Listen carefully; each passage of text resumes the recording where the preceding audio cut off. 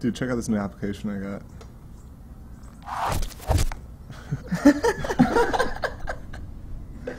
Check out this new application. ow